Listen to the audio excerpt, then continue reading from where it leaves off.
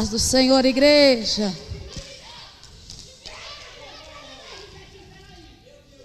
A paz do Senhor, igreja. Louvado seja o nome do Senhor. Irmãos, é motivo de alegria estar aqui nessa manhã. Louvado seja o nome do Senhor. Quero aqui fazer os meus agradecimentos. Primeiro eu quero louvar e engrandecer o nome do Senhor Jesus. Quero louvar o meu amigo Espírito Santo, que me conduziu até este lugar. Na, na manhã desse dia, quero louvar a Deus também. A Ele seja dada toda a honra, toda a glória, porque se não fosse por Ele, se não fosse para Ele, se não fosse, aleluia, por intermédio dEle, nada do que aconteceu aconteceria e nada do que aqui está ocorrendo ocorreria, mas a Ele seja dada a honra, a Ele seja dada a glória, a Ele seja dada toda exaltação, porque Ele é digno, Ele é digno de ser adorado. Quero louvar Deus também, aleluia, pela vida do meu noivo evangelista Moisés Castro, amém? Ele foi, irmãos, um dos meus maiores incentivadores para estar aqui nessa manhã. E eu não posso deixar de externar a Deus gratidão por a vida dele, amém? Quero também dedicar a Deus esse DVD e também a toda a minha família, irmãos, que insistiram para que eu chegasse aqui, amém? Abre as vossas Bíblias no livro de Ruth capítulo de número 1 e verso de número 8. Nós sabemos muito bem que o livro de Ruth, ele sucedeu, aleluia, ele foi escrito na época a qual os juízes governava, aleluia, a terra. E a Bíblia vem nos dizer que o livro de Ruth, a qual é dada como autoria a Samuel, ela é uma linda história de amor que demonstra os cuidados e providência de Deus. O nome do autor é referente, aleluia, Samuel, irmãos. E eu muito me alegro quando eu olho para esta narrativa bíblica, porque ela nos convida a não sair dos pés de quem pode nos remir. Aleluia, capítulo de número 1 e verso de número 8. Eu quero louvar a Deus também pela vida do pastor Tojo e da sua esposa, pastora Maria Tojo. Amém? Eles foram canal de Deus para que isso, aleluia, nesse dia ocorresse em minha vida. Amém? Louvado seja o nome do Senhor. Que diz assim a narrativa bíblica: Disse Noemi às suas duas noras Ide, voltai, cada um à casa de sua mãe, e o Senhor use convosco de benevolência, como vós usastes com os falecidos e comigo. O Senhor vos dê, que acheis descanso, cada um em casa de seu marido e beijando-as, ela levantaram a sua voz e choraram. Pai, tu que habitas, Senhor, no céu de grande glória, estás assentado sobre o trono nesta manhã. A ti seja dada toda honra, toda glória e toda exaltação, Senhor. A ti tributo, Senhor, a minha adoração, porque confesso eu que se não fosse o Senhor, eu não estaria aqui. Deus, esta promessa que o Senhor a fez há anos atrás, hoje se cumpre para a glória do teu nome, ó Deus, redentor das nossas almas, tu que criaste a humanidade, deste a ela colocaste dentro do teu do nosso ser, Senhor, a presença do teu Santo Espírito, e é por conta da presença que estamos aqui na manhã de hoje, ó Deus, de Israel, resgatando os valores missionários, aonde nós temos, Senhor, por responsabilidade, entregar, Senhor, aquilo nas tuas mãos, a qual tu nos emprestou naquele grande dia, Senhor. Nos faças missionário, ó Deus, aonde colocar a planta dos nossos pés, nos direciona a caminhos aonde há pessoas que estão perdidas, estão desanimadas na fé, Deus. Meu Senhor, nos leve, meu Deus, às mais profundas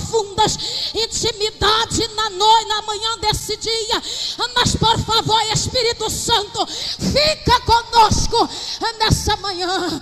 Não nos abandone, nos direcione, meu Deus, nos caminhos da tua justiça, para que nós venhamos, não, Senhor, viver como antes nos vivíamos, mas que nós venhamos a estar impactado com a tua presença, para poder impactar a nova geração, a geração estamos vivendo hoje e a geração futura, a qual há de vir. Deus, fica conosco na manhã desse dia e nos use por misericórdia de Noemi e vai embora.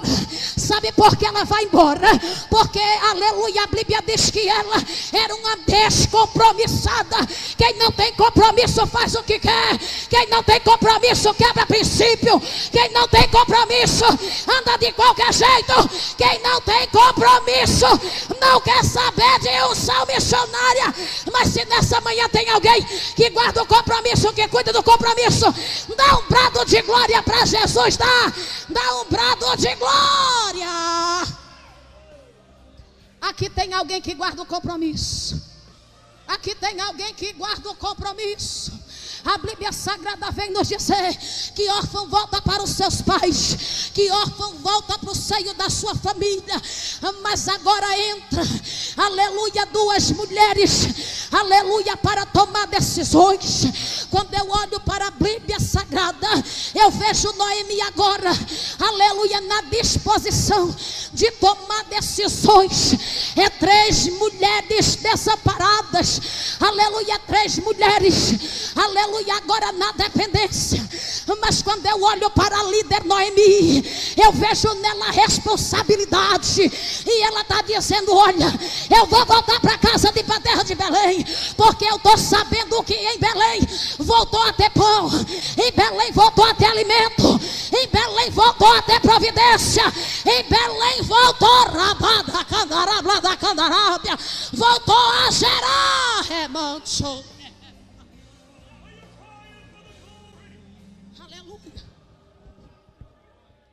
A Bíblia Sagrada nos diz que Ruth volta para Belém com Noemi.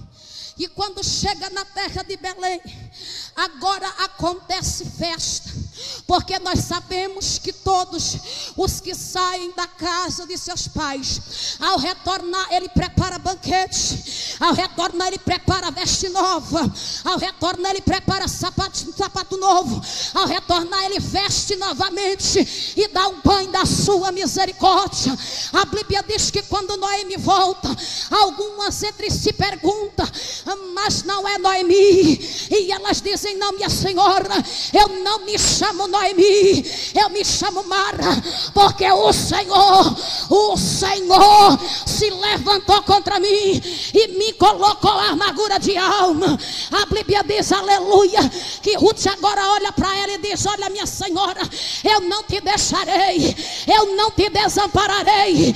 O meu Deus será o teu Deus, aleluia, o teu povo será o teu, aleluia, o teu povo será o meu povo.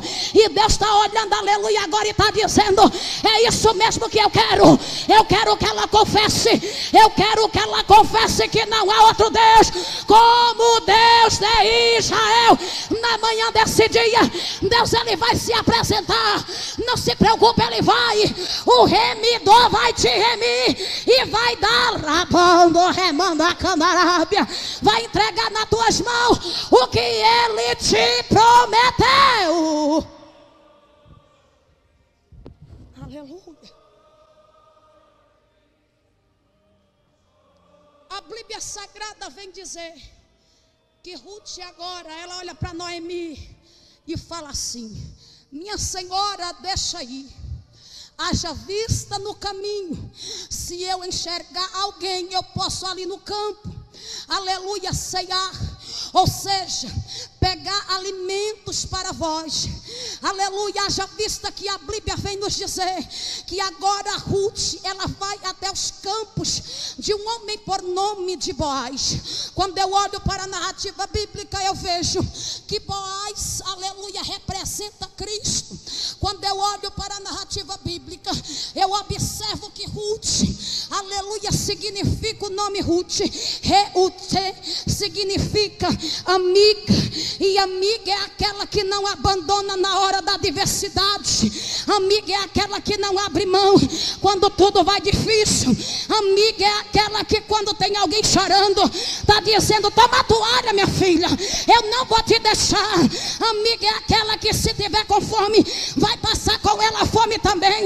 Amiga é aquela, aleluia, quando o sangue está dando no meio da canela, ela está dizendo: eu não vou deixar. Eu não vou deixar passar. Porque estou contigo e eu não abro mão. Será que nessa manhã Deus pode contar com você? Será que nessa manhã Deus pode contar com a tua fidelidade?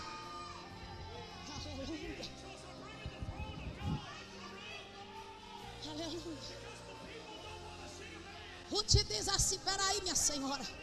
Eu vou até o campo de Boaz.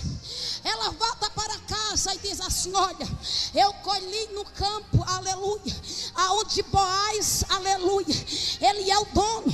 A Bíblia diz que quando ele Meleque, ele sai da terra de Belém, ele deixa, aleluia, terras, e as terras não poderiam ser vendidas. A terra era de família, conforme ele voltasse para casa, para Belém novamente, ele herdaria de volta as terras que era dele, terras não poderiam ser vendidas. E a Bíblia diz que quando Ruth chega nos campos de Boaz, a Bíblia vem nos relatar que agora, aleluia, Ruth vai, aleluia, chega na época da cevada em Belém de Judá.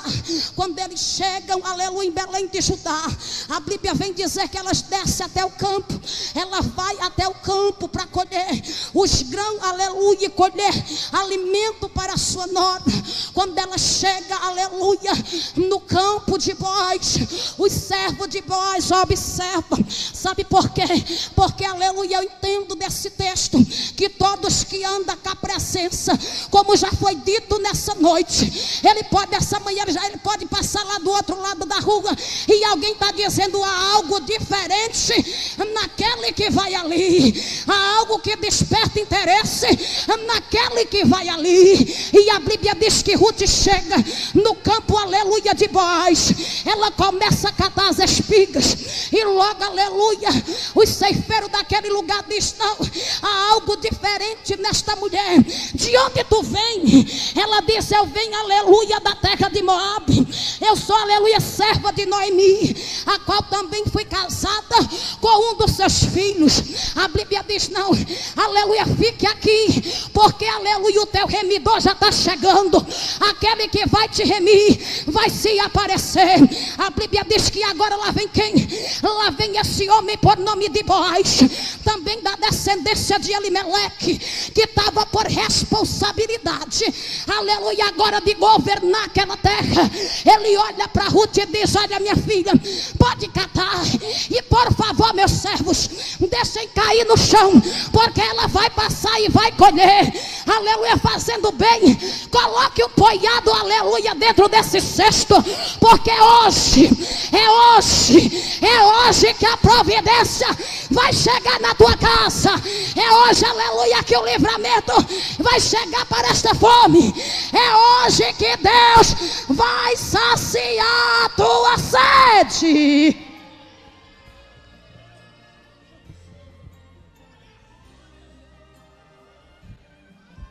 Está agora quem? Está essa mulher, por nome Ruth, nos campos de Boaz. Ela volta para a sua sogra e diz: Olha, sabes onde eu fui catar hoje?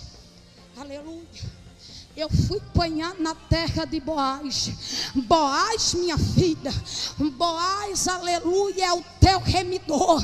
Ela estava dizendo, então tu foi no campo certo. Sabe qual é, irmão, o problema? É que muitas das vezes nós queremos plantar na terra que não é para ser nossa. Muitas das vezes nós queremos investir numa coisa que não é para nós. Muitas das vezes nós queremos apostar Noemi chega para Ruth e diz: Fica lá mesmo, continua, porque é a terra que tu está plantando, aleluia, a terra de providência. Aquele homem vai, aleluia, se levantar ao nosso favor.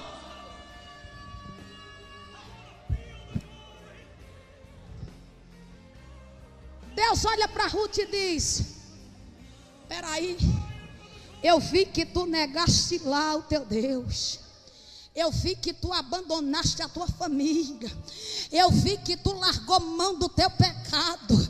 Eu vi que tu, aleluia, saiu da tua terra. Agora vem, porque agora momento de eu te remir.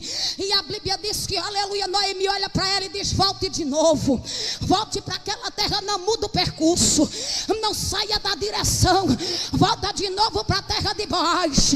A Bíblia diz que ela volta novamente. Quando ela chega no campo de Boaz, aleluia, Boaz diz assim, aleluia, para os servos: Olha da água para ela, sacia a sede dela e depois que ela estiver alimentada, coloca ela para descansar. Meus amados, eu vou te dizer uma coisa: haverá tempo de muitas provações, mas também haverá tempo de descanso. Descansa no Senhor, confia, porque o remidor vai chegar, e quando ele chegar, vai mudar a tua história. Aleluia. Aleluia. Ruth volta novamente para a casa de Noemi, com os cestos todos cheios. Quando ela chega na casa de Noemi, a Bíblia Sagrada nos diz que agora Noemi diz: Olha, coloca a tua melhor veste, se perfume com o teu melhor perfume, coloca o teu melhor sapato aleluia, e desce para a eira, porque quando tu chegar naquele lugar, deita, os lençóis e deita nos pés do remidor, porque ele só vai encerrar esta causa quando ele concluir hoje este negócio, a providência, meu irmão, enquanto alguém está dizendo a tua família não vai dar certo, a tua casa não vai dar certo, o teu ministério não vai dar certo, Deus está dizendo: vai para os meus pés, que é o lugar mais alto de você está. Só que, nos tempos atuais, quem tem um perfume melhor, quem tem um terno melhor, quem tem um sapato melhor, tem mais oportunidades. Aleluia. Ruth olha para Noemi e diz assim: Não, minha filha, desce lá, vai dessa eira. Lá vai ter alguém que vai te remir. Quando eu olho para a Bíblia Sagrada, aleluia, eu entendo que Deus, quando Ele chama alguém para aleluia, para um compromisso com Ele, Ele veste roupa nova, Ele dá cheiro de ovelha, Ele coloca sapato novo, Ele dá autoridade, Ele aleluia, reveste o crente de poder, renova no espírito, dá graça para pregoar a sua palavra, coloca no meio de príncipe e princesa derrama sobre ele a unção dobrada do céu. Espírito, quem está entendendo na noite da manhã de hoje, Deus vai dar a unção dobrada, a unção que despedaça o jugo. Hoje vai descer na tua vida, vai. Hoje, aleluia, o teu filho não vai mais viver em condenação. Hoje a tua família vai sair debaixo do jugo. Hoje, aleluia, o teu ministério vai ser restaurado para a glória de Deus. Eu quero nessa, nessa manhã chamar o cantor Robson. Se põe de pé em nome de Jesus. Se põe de pé. Noemi foi uma incentivadora. Será que nessa manhã Deus pode contar com você como incentivador? Ruth aceitou o que Deus queria. E Boaz, que representa Cristo, ele o remiu, sabe por quê? Porque Deus, ele quer mudar a história. Deus, ele quer mudar vidas. Deus, ele quer transformar caráter. Deus, ele quer trabalhar. E ele só vai trabalhar aonde ele achar, aleluia, lugar para trabalhar. A Bíblia Sagrada diz que Ruth diz: Não, hoje eu fico lá com você. Eu não vou voltar para casa dos meus pais, não. Porque o Deus que ele serve, Noemi, não é o mesmo que o teu. Eu não vejo, aleluia, desejo algum de ficar aqui. Eu quero conhecer mais desse Deus, aleluia, que você serve. E a Bíblia diz que Noemi era uma mulher amarga, sabe por quê? Porque ela tinha perdido, mas agora chegou o tempo, aleluia, dela ganhar. Agora chegou o tempo de Deus restituir. A Bíblia diz, aleluia, que Ruth casa com Boaz. E ele vem agora, aleluia, meio de tudo isso, dá netos a uma mulher que não tinha marido, dá neto, aleluia, a uma mulher que não tinha mais filho. Eu vou dizer uma coisa na manhã desse dia: a tua linhagem não vai morrer, não vai, a tua descendência não vai morrer, até que Deus cumpra nela o teu propósito. Aleluia. Aleluia. Agora você imagina a mulher sai da terra de escravidão, da terra de pecado, da terra de idolatria e volta novamente para Belém. Quando chega em Belém tem festa, quando chega em Belém tem providência. Quando chega em Belém tem descanso. Porque quem ia cuidar dela agora era Deus. Quem está confiando, quem está acreditando que quem vai cuidar de você é Deus. O homem pode te abandonar, a mãe pode te abandonar, teu irmão pode te abandonar, mas o Pai Celestial não vai te abandonar. A promessa que ele fez está de pé. A promessa que ele fez está de pé. A promessa que ele fez está de pé na tua vida.